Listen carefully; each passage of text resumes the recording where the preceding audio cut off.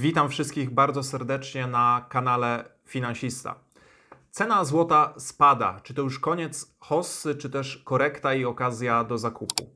Spróbujmy przyjrzeć się bliżej tej sytuacji. Otóż czynniki makroekonomiczne i polityczne tak naprawdę nie zmieniły się od czasu, kiedy złoto osiągnęło swój szczyt. W mojej ocenie tak naprawdę stały się jeszcze bardziej sprzyjające. Bilans banków centralnych eksplodował. Drukarki nie zatrzymują się i pracują pełną parą. Pojawiają się kolejne pakiety stymulacyjne. No i zobaczmy, mamy tutaj świeżutki artykuł na Business Insider, z którego dowiadujemy się, że amerykański Senat zatwierdził pakiet stymulacyjny do gospodarki może trafić e, prawie 2 biliony dolarów. Więc wydaje się, że tak ogromne ilości waluty tylko czekają na otwarcie poszczególnych sektorów gospodarki, a co za tym idzie wzrost tempa cyrkulacji pieniądza, co w konsekwencji przełoży się na rosnącą inflację. I dla odmiany zobaczmy, jak to wygląda na naszym podwórku. Tym razem mamy artykuł na money.pl, z którego dowiadujemy się, że nasz Narodowy Bank Polski tak naprawdę zmienił swoje prognozy i zakłada wyższą inflację w 2021 roku, czyli nie jak wcześniej prognozował 3,2%, a nawet 3,6%. A jak wiemy, w środowisku rosnącej inflacji radzą sobie najlepiej dwie grupy aktywów, do których należą surowce, co możecie zobaczyć jeszcze raz na tej ilustracji, surowce i metale szlachetne. Dodatkowo zadłużenie państw tak naprawdę nie zmalało, ale wzrosło w ostatnim czasie i ten dług występuje na wszystkich poziomach, czyli na poziomie korporacyjnym, osobistym i rządowym. I dla przykładu zobaczmy, jak wygląda to w Stanach Zjednoczonych. Mamy bardzo ciekawy wykres od 1950 roku, gdzie widzimy, jak to zadłużenie, jak ten dług korporacyjny narastał przez lata i w chwili obecnej wynosi on już ponad 11 bilionów dolarów. Z kolei jeśli odwołamy się do naszego podwórka, czyli do Polski, tutaj mamy dane od 2000 roku, no to widzimy jak z kolei zadłużenie konsumentów narastało latami i w chwili obecnej wynosi prawie 800 miliardów złotych, a więc ten dług jest już bardzo istotny. I wiemy, że inflacja jest korzystna dla polityków i banków centralnych, ponieważ pozwala troszeczkę zredukować to zadłużenie poprzez dewaluację waluty. Ale jest jeszcze drugi czynnik, czyli stopy procentowe, które są obecnie na bardzo niskim poziomie.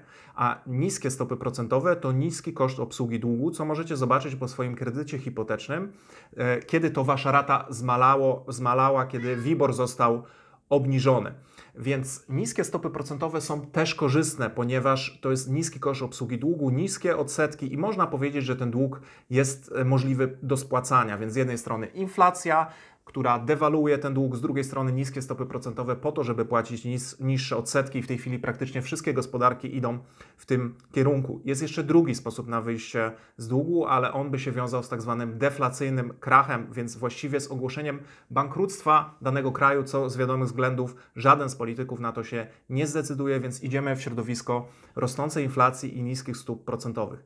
A właśnie oprócz rosnącej inflacji to środowisko niskich stóp procentowych, a właściwie środowisko negatywnych, realnych stóp procentowych jest bardzo sprzyjające do złota, ponieważ stanowi ono alternatywę dla lokat, kont oszczędnościowych czy też obligacji, które w takich czasach nic nie płacą. Złoto jest uważane za bezpieczną przystań i właśnie z takich aktywów kapitał przenosi się do złota, więc jest to bardzo sprzyjający czynnik właśnie dla tego metalu szlachetnego. Z drugiej strony, co warte podkreślenia, cena złota jest bezpośrednio skorelowana z ceną obligacji, szczególnie z tego największego rynku, czyli obligacji Stanów Zjednoczonych. Czyli w momencie, kiedy cena obligacji rośnie, a zarazem spada ich rentowność, no to mamy alternatywę, czyli kolejną bezpieczną przystań. Kapitał przenosi się właśnie ze złota do obligacji i takie zjawisko w tej chwili obserwujemy.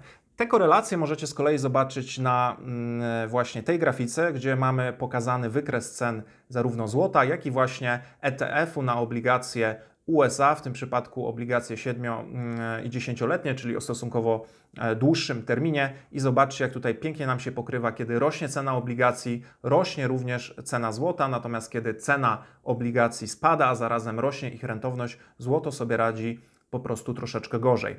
E, no a teraz zobaczmy, jak wzrosła e, rentowność obligacji. W tym przypadku mamy wykres, który pokazuje wzrost rentowności obligacji dziesięcioletnich e, Stanów Zjednoczonych. Popatrzcie, jak od listopada właśnie ta rentowność nam wzrosła. Obecnie jest ono na dużo wyższych poziomach niż chociażby obligacje europejskie, więc po prostu obligacje Stanów Zjednoczonych, ale te w długim terminie, bo co należy podkreślić, to rośnie rentowność obligacji długoterminowych, czyli 10, 20 czy też 30-letnich co pozwala sądzić, że oczekiwania inflacyjne są raczej w długim terminie. A mi pozwala wyciągnąć wniosek, że ten trend już długo raczej nie potrwa i niedługo zobaczymy jego odwrócenie, co spowoduje wzrost cen złota. Po, po prostu ceny obligacji w tej chwili są bardzo atrakcyjne, kapitał chociażby z rynków europejskich może się przenosić tam, co spowoduje wzrost cen obligacji i przełoży się również na wzrost cen złota. No bo jeśli zobaczymy na obligacje, czyli na rentowność obligacji dwuletnich w tym przypadku USA, no to zobaczcie, że tutaj sytuacja praktycznie się nie zmieniła zmieniła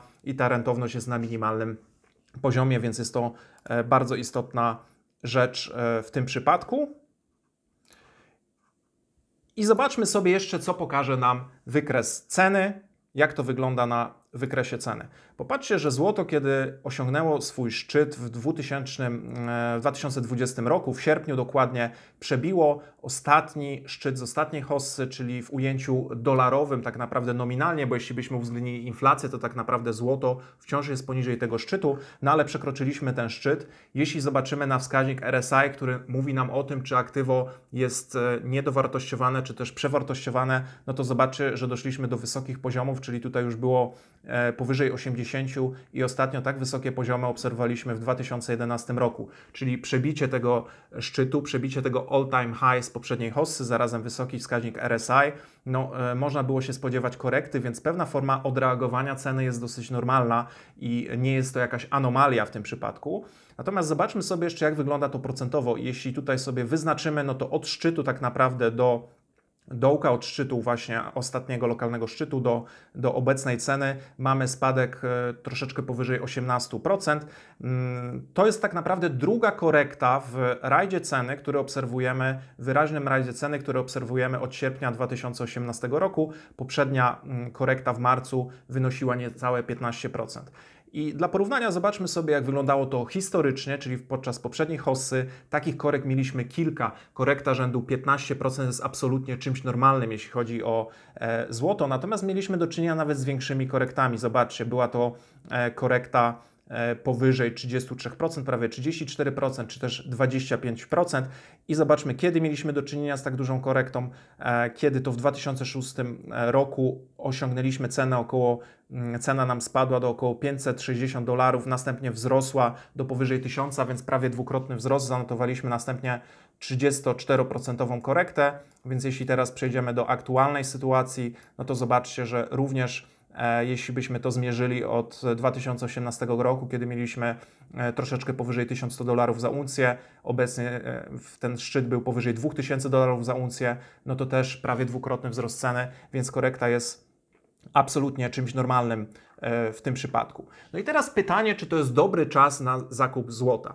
Oczywiście nigdy nie jesteśmy w stanie trafić dołka, ale nie o to tu chodzi. Po prostu chodzi o to, aby kupować, kiedy jest taniej, nie kiedy jest drożej. Czy teraz to byłby dobry moment? Spróbujmy to ocenić i pomoże nam w tym interwał miesięczny. Popatrzcie, na interwale miesięcznym, właśnie w, przy poziomie ceny około 1680 dolarów za uncję, mamy obecnie 21-miesięczną średnią kroczącą. Jeśli zobaczymy, jak to wyglądało podczas poprzedniej hossy, to ta 21-miesięczna średnia krocząca była bardzo istotnym momentem oporu, jeśli chodzi o złoto, i tak naprawdę tylko raz cena zeszła poniżej tej średniej, no i właśnie to było wówczas, kiedy to zaliczyła ponad 33, prawie 34% korektę, zatrzymała się ostatecznie na 50-miesięcznej średniej kroczącej, no ale e, ta 21-miesięczna średnia krocząca wielokrotnie była istotnym poziomem w tym przypadku wsparcia. Jeśli z kolei przejdziemy na interwał tygodniowy, to zobaczcie, że też w okolicach tej ceny, czyli właśnie 1680-1700 mm, dolarów za uncję, mamy ostatni e, lokalny szczyt, czyli wtedy, kiedy zaliczyliśmy właśnie w marcu korektę i e, najpierw to, ta cena, ten poziom stanowił istotny opór, ale później, zobaczcie tutaj w czerwcu, również było to dość istotne wsparcie, także można uznać, że ten poziom ceny właśnie w przedziale 1680-1700 dolarów za uncję jest dość atrakcyjny, stanowi dość istotny moment wsparcia na chwilę obecną, także naprawdę można rozważyć zakup, można też rozważyć zakup partiami. Ja osobiście zdecyduję się na dokupienie pakietu ETF-u na spółki wydobywające złoto, dokładnie ETF, ETF-u GDXJ. Natomiast myślę, że dla osób, które chciałyby zwiększyć swoją ekspozycję, czy to na złoto fizyczne, czy też poprzez ETF-y, e, wygląda to obecnie całkiem ciekawie. Oczywiście nigdy nie jesteśmy w stanie trafić dołka, czy cena może zejść jeszcze niżej? Oczywiście, że może, natomiast definitywnie e, obecny poziom ceny jest lepszym momentem na wejście niż chociażby obserwowaliśmy to podczas dynamicznych wzrostów 2000 pod koniec, e, tutaj na początku sierpnia 2020 roku. Teraz mamy lepszy moment do zakupu, lepszy stosunek zysku do ryzyka niż to było właśnie e, w sierpniu, więc myślę, że osoby, które planują po raz pierwszy kupić złoto, warto się zastanowić. Możemy też e, balansować swoim portfelem. To jest bardzo istotne, żeby ograniczyć jego zmienność, aby właśnie sprzedawać aktywa, które drożeją dynamicznie w ostatnim czasie, na przykład kryptowaluty, jeśli mieliście część kapitału w kryptowalutach, a następnie przenosić je do aktywów, które notują spadki. Dzięki temu balansujemy, dzięki temu ograniczamy zmienność naszego portfela i dajemy sobie lepsze szanse na wypracowanie większych zysków po prostu też zmniejszamy, polepszamy, przepraszam, ten stosunek zysku do ryzyka. Także w mojej ocenie ja długoterminowo do złota jestem nastawiony e, pozytywnie i moim zdaniem takie spadki, korekta rzędu 18%, która oczywiście jest większa niż powiedzmy taka średnia około 15%, ale jeszcze mniejsza niż historycznie nam się e, zdarzały. Można pomyśleć, że jest to dosyć atrakcyjny poziom w tej chwili na właśnie danie sobie ekspozycję na metale szlachetne ze względu na czynniki też, o których wcześniej wspomniałem, czyli bardziej te czynniki fundamentalne czy też makroekonomiczne.